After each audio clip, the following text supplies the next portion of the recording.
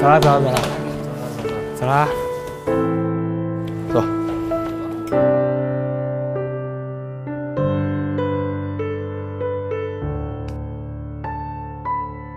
在这夏天，我觉得算是一个比较好的回忆了。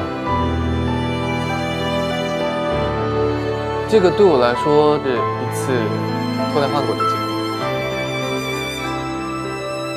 其实我希望就是每一个看这个节目的朋友，就是用一种理性的状态去看任何一个人，因为我觉得这种东西，它并不是你看的是怎样，它就是怎样，因为你不能够体会所有在这里人的状态和经历的东西，所以我觉得大家没有必要去那样的去骂。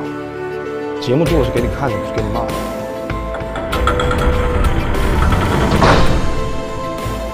每一个骑墙的选手，我觉得大家都特别不容易，而且大家对这个是一个坚持和一个对自己想要的东西的一种追求。我觉得很多人是没有这个勇气的。你有权利喜欢你想支持的人，但你没有资格去评价任何一个你讨厌的那样的诋毁。我觉得这些东西是没有没有任何意义。